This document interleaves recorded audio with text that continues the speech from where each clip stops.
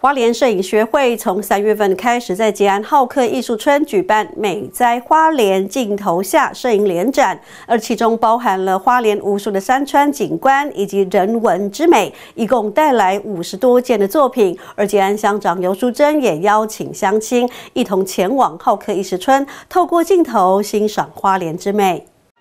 不管是山川美景，还是在地的人文风貌，一幅幅摄影创作全都把花莲给记录下来。这是花莲摄影学会从三月份开始，在吉安后客艺术村所举办的“美在花莲镜头下”摄影联展，总共集结三十三位会员，展出五十三件精彩作品，希望透过不同角度，让观者看见不一样的花莲。因为也是因为疫情啊，哦，大家就比较少出去外拍，就受限制了。那花莲呢，本地我们还是拍了不少，所以呢，就以花莲，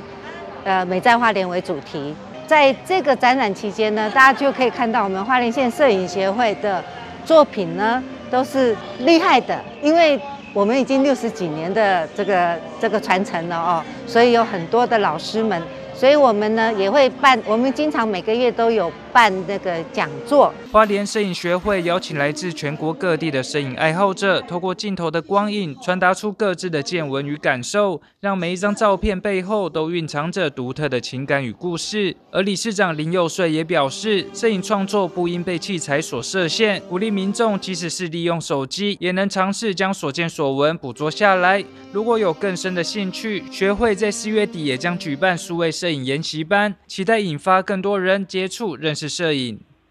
记者徐立琴、吉安乡报道。